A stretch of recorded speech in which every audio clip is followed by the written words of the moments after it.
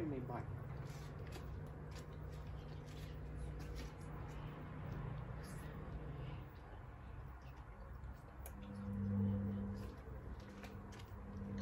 Right, another successful spin from Garenia.